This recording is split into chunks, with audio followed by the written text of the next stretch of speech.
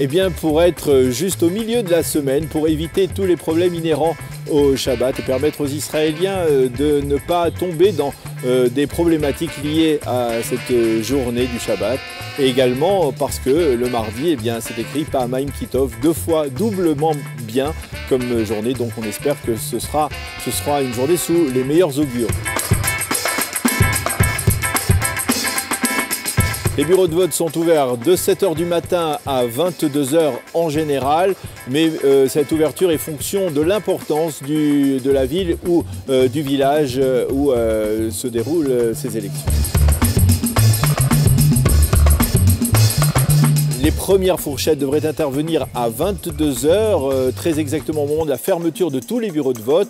les premières fourchettes, mais les résultats définitifs ne seront connus que le lendemain matin.